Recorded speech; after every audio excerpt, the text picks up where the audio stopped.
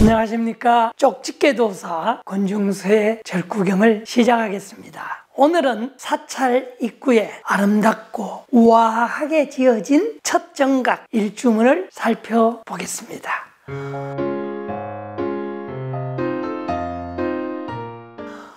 호젓한 산길을 걸어 사찰 입구에 당도하면 먼저 우리들을 맞이하는 조그마한 정각이 있습니다. 기둥은 잘 보이질 않고 지붕만 화려하게 공중에 떠 있는 듯 눈에 들어옵니다. 아, 천상의 집은 이런 모양일까요? 부처님의 세계로 들어가는 천문 일주문입니다.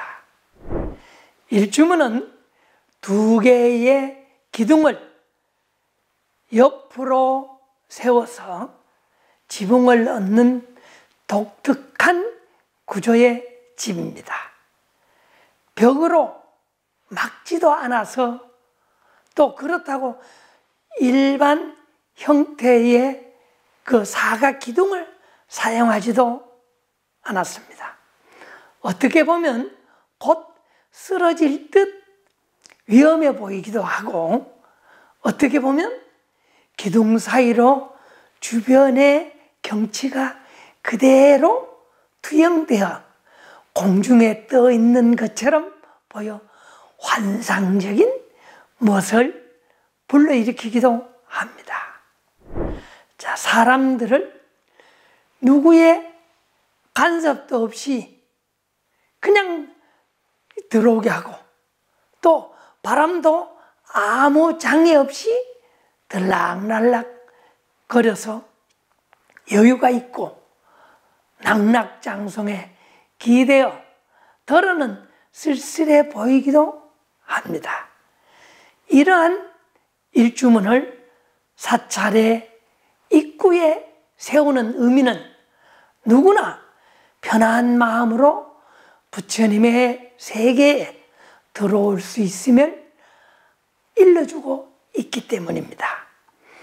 종교가 다르다고 해서 받아들이지 않는다거나 피부색이 달라서 차별을 한다거나 사상으로 편향한다거나 뭐 아무튼 가르고 차별하는 이분법적인 중생의 생각을 하나로 모아서 절 대 평등한 진리의 세계로 들어가는 문이 바로 일주문입니다.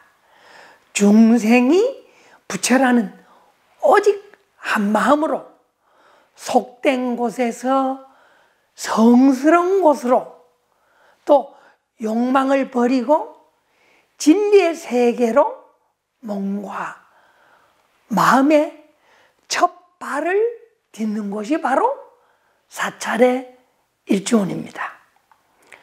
원효 스님께서는 하나의 문이란 무엇인가?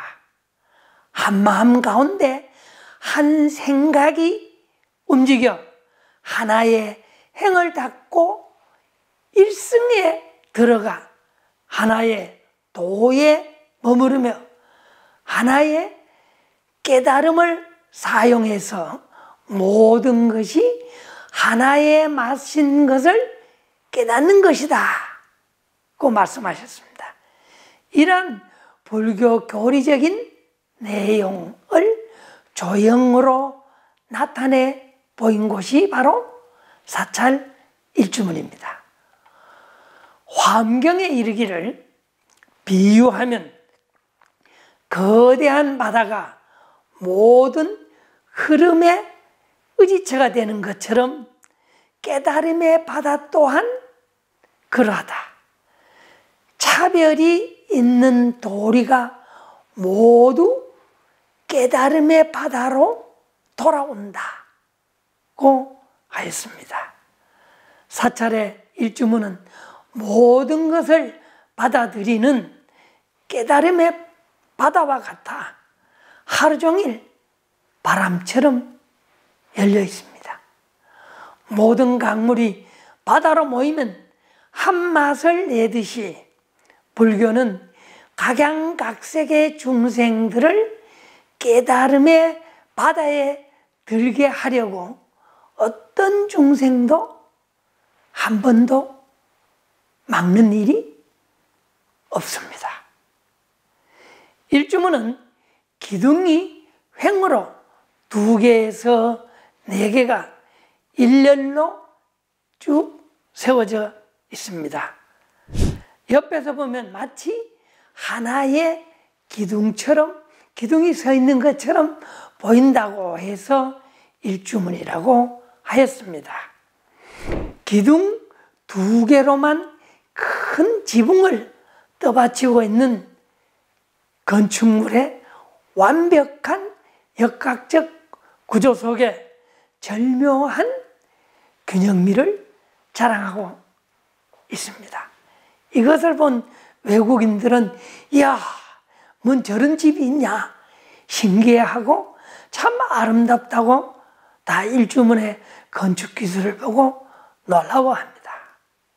또 일주문의 기둥은 나무나 돌을 주로 사용하는데 주로 나무를 사용하죠. 나무인 경우에는 다양한 기둥 형태로 나타나기도 합니다.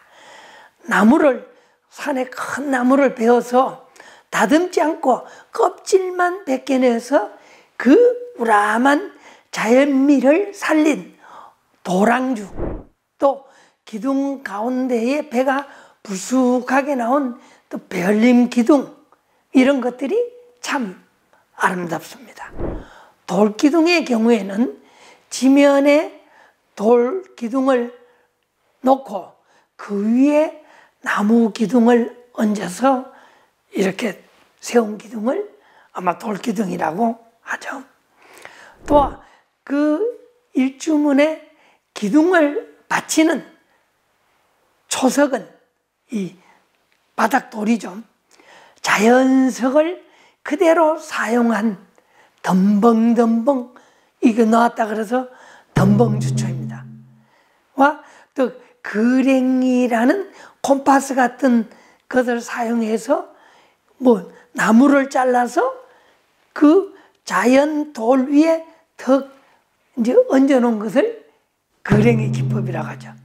그런 이 기둥이 참 아름답습니다. 일주면 또 기둥에는 여러분 보셨겠지만은 거의 주련이라는 그 송판에 글씨를 써서 이렇게 붙여뒀습니다. 이것은 사찰의 특성에 맞는 글이나 불교 사상을 담은 글을 이렇게 주련으로 걸어두고 있습니다. 그래서 사찰의 이 일주문의 주련만 봐도 부처님의 말씀을 아는 데는 손색이 없습니다. 먼저 양산 통도사 일주문 주, 주련을 한번 볼까요? 여기는 간단합니다. 국지대찰, 불지종가 이렇게 양기둥에 써져 있습니다. 이것은 통도사의 위상을 한눈에 알 수 있는 주련이죠. 통도사는 나라의 으뜸가는 사찰이며 부처님의 종갓집이다. 최고의 집이다. 하여 부처님의 정골사리를 모신 곳이라는 것을 입구에 바로 알려주고 있습니다. 또한 화성 용주사 산문의 기둥에는 산문이 일주문이죠.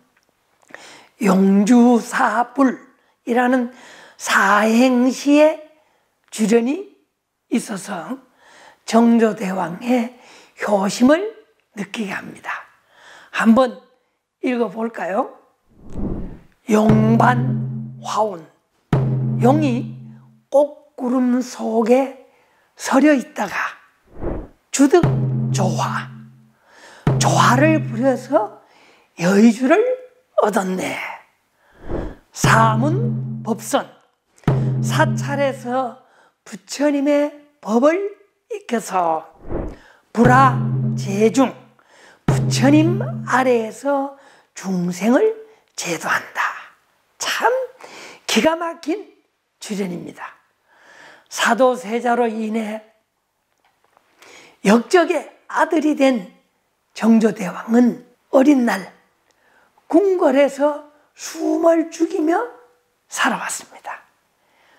스물다섯 나이에 왕이 되어서 백성을 위한 새로운 세상을 꿈꾸는 왕이 되었습니다. 정조는 부모 은중경을 통해 부모님의 은혜를 알고 불교를 배웠습니다. 그리고 부처님의 제자로서 중생 구제 서원을 몸소 실천하신 분이 또 정조대왕입니다. 그러니까 이 주련이 정조의 생각을 그대로 말해주고 있습니다. 또한 일주문에는 들어가는 꼭대기에 보면 편액이라 하는 현판이 있죠. 이 현판은 주로 사찰이 속한 산의 이름과 그 절의 이름을 나타냅니다. 희양산 봉암사, 독리산 대안사, 또 이렇게 큰 편액을 써서 아, 이 절이 어느 산에 있고 절 이름이 이거다라는 것을 나타내 주고 있습니다만은 또, 또 다르게 그 상과 사찰의 편액을 일주문 바깥에 걸었다면 그 내부에는 일주문의 진짜 이름을 거는, 거는 경우도 많습니다. 그때는 황악산 직지사 했지만은 그 속에 이렇게 살펴보면 자문 이렇게 써져 있고 성주 송광사 일주문은 겉에서는 조계산 대승선종 송광사 했지만은 그 속으로 딱 보면 승보종찰 조계총림 이렇게 되어 있습니다. 또 부산의 범어사 같은 경우에는 어떻게 일주문인 조계문에는 현판이 세 개나 달려 있습니다. 선찰 대본산, 또 조계문, 금정산, 범어사라는 세 개의 편액을 전면에 척 걸어서 범어사를 자랑하고 있습니다. 범어사가 어떤 곳이냐? 참선을 하는 근본 도량이다. 이면서 또 범어사는 조개무늬를 가지고 있다. 우리나라의 많은 사찰이 일주문이 조개문인 것이 한국 선맥의 최고의 스승인 육조 해능 선사가 주석하였던 곳이 조개이기 때문에 많은 절들이 조개문이라는 표현을 하기도 합니다. 또 이러한 편액은 주로 당대 명필이나 유명한 사람들의 붓글씨가 나무판에 써서 새겨져 걸려두고 있습니다. 구례 전은사 일주문 편에게는 지리산 전은사라고 적혀 있는데 이 글씨는 당대의 명필이죠. 유명한 명필인 원교 이광사의 글씨인데 이 세로로 물 흐르듯 이렇게 써서 그 전은사가 화재가 많이 났으니까 편액을 이렇게 물 흐르는 것처럼 글씨를 쓰면 화재를 예방할 수 있다고 해서 그걸 써붙이고 난 다음에는 화재가 안 났다고 합니다. 정말 여러분들도 가서 보시면 편액을 바라보면 물소리가 들리는 듯 합니다. 또한 직지사 일주문은 황학산 직지사라는 편액은 이 명필 원교 이광사의 제자인 송하 조윤형이 이 글씨를 부드럽고 여유가 있게 써서 황학산 직지사라는 글을 써서 일주문에 붙였습니다. 또한 구례 화엄사 일주문 편액은 지리산 화엄사라는 이 글씨가 써져 있죠. 이 글씨는 선조의 여덟 번째 아들 의장군 광이 쓴 글씨입니다. 이렇게 왕자가 사찰에 이 편액을 써주기도 했던 것이죠. 그런데 일주문에는 이 화엄사 일주문에는 큰 대문과 담장으로 닫혀 있는 구조입니다. 제가 원래 일주문은 문이 없다고 했죠.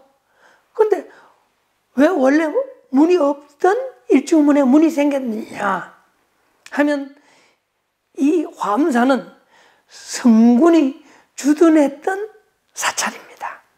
그래서 집은 개차 지키고 범하고 열고 닫고에 아주 철저했던 그 성군의 우두머리였던 벽암 각성 스님의 사상을 나타내서 성군이 주둔했던 사찰은 주로 담장을 치는 경우도 있습니다. 또 일주문에는 여러분이 쭉 들어가실 때 그냥 뭐 들어가면 일주문이 뭐가 있는지 아무것도 모르죠. 그러나 양 기둥이 서 있는 옆에 이렇게 보면 정룡과 항룡이 두 마리 용이 고개를 쭉 내밀고 조각되어 있는 걸 볼 수 있습니다. 이 용이 누구냐? 난타와 우바난타 용왕의 형제입니다. 이 용이 왜 일주문에 서 있느냐? 정일 암경에 보면 이 두 마리 용이 하도 성질이 포악하고 사람들을 못 살게 굴때 부처님께서 목련존자를 시켜서 그 이 두 마리 용을 좀 혼내줘라. 그래서 목련존자가 그 마을에 용인데 가서 딱 목련존자의 신통력으로 용을 꼼짝 못하게 했습니다. 그러니까 이 용이 하도 놀래가지고 당신의 스승은 누구입니까? 하니까 우리 스승은 부처님이시다. 그러면 저도 사찰에 가서 좀 배우면 안 됩니까? 그러니까 그래 와라 해서 이 부처님의 제자가 돼서 그러면 저는 일주문을 지키겠습니다 해서 일주문에 보면 용이 두 마리가 항상 있어서 이 불법을 수호하고 또 사찰을 드나드는 불자들을 보호하게 되었다고 합니다. 이런 내용을 알고 그 대구 동화사의 일주문인 봉학문 전정을 이렇게 쳐다보면 전정 속을 뚫고 나온 정령과 황령이 우리도 모르는 사이에 내려다보고 있습니다. 일주문 천정 보고 가는 사람 거의 없죠. 그래서 이 영이 이 사람들이 잘 가고 있는지 또 불편한 마음은 없는지 이런 것을 살펴야 되는데도 자기 놀이에 바빠가지고 거기 여유를 가지고 서로 그냥 가지고 놀면서 재밌어 합니다. 또 이 사람들이 지나가면 야 저 사람 어제 옷 샀는데 예쁘더라. 또 누가 일주문 앞에서 합장하고 절을 잘하는지 한 보자 얘기도 하고 이렇게 해서 자기네들끼리 희낙락하는 모습도 재밌죠. 이에 비해서 순천 송광사 일주문 양 기둥의 영향은 뭐 어떻습니까? 그 난타와 우반난타 용왕이라고 말씀을 드렸죠. 이 승보사찰 송광사를 지키려는 의지가 아주 강합니다.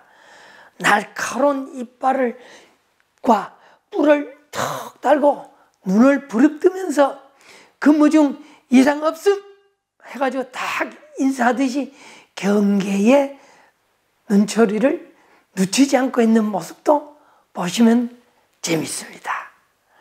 사찰의 일주문은 꼭 문이 있어야만 하는 것은 아닙니다. 해남 대흥사 도서람은 들어가는 입구 바위 그 자체가 일주문이죠. 또 지리산 벽송사는 들어가는 초입에 있는 대나무 숲길이 일주문입니다. 또 사찰을 지키려고 했던 그 산성 안에 있는 남은 교룡산성 성국사 일주문이나 강화의 삼랑산성 전등사 일주문 이런 것은 성벽으로 둘러싸여져 있는데 조만하게 이렇게 구멍을 내놓은 곳이 바로 일주문입니다. 그리고 참 재미나는 것을 보면 경산 환성사 뒤로 이렇게 올라가면 성전함이 있는데 여기 일주문은 집에 두 칸 집을 한 칸을 사람이 이 통로로 만들어서 일주문으로 사용하고 있어서 소박한 멋을 풍깁니다. 이처럼 사찰의 일주문은 각양각색의 모습을 보여주고 있습니다. 그러나 요즘 일주문은 사찰을 찾는 뭐 부자들이나 방문객들에게 따돌림을 당하고 있죠. 왜냐고요? 이렇게 교리적으로 상징성도 대단하고 건축적으로도 그 아름다움을 한껏 뽐내고 있는데 봐주는 사람이 없습니다. 그러니까 쓸쓸하죠. 그러니까 그 옆에 도로가 잘 나 있으니까 승용차를 타고 절마당까지 그냥 쑥 지나가 버리니 일주문을 보지를 못합니다. 야, 그렇게 되면 안 되죠. 일주문을 우리 스님들이 세운 그 의미를 생각을 해봐야 되겠습니다. 그래서 옛날에는 절 입구에 일주문 밖에 하마비 말에서 내려서 어떤 관찰사가 어떤 어떤 정성 판세가 오더라도 이 하마비에서 내려서 걸어서 부처님께 들어와서 예경을 하라고 해서 하마비가 있습니다. 그래서 지금 같으면 이 승용차가 말이죠. 일주문 바깥에 주차장을 만들어 두고 거기서부터 걸어 올라가면 그 정말 산사의 솔바람 향기 속에 그 진리의 세계로 들어가는 벅찬 감동이 나올 것 같습니다. 자, 그 일주문에서는 어떤 생각을 해야 돼요? 아, 내가 지금 부처님을 만나러 가는데 부처님께서 나를 보면 얼마나 즐거워하실까? 또 부처님이 이런 질문을 하면 나는 어떻게 대답할까? 이렇게 가슴 벅찬 느낌을 가지고 일주문에 서서 예경 합, 반배 합장을 하고 들어야 됩니다. 인왕경에 이르기를 모든 부처님께서는 다 이 문에 의지하여 성불할 수 있었다고 하였습니다. 여러분도 이 일주문을 지나면서 나도 성불할 수 있다는 그러한 서원을 가져야 되겠죠. 예. 유쾌한 쪽집게 도사 권중서의 절구경이었습니다. 감사합니다.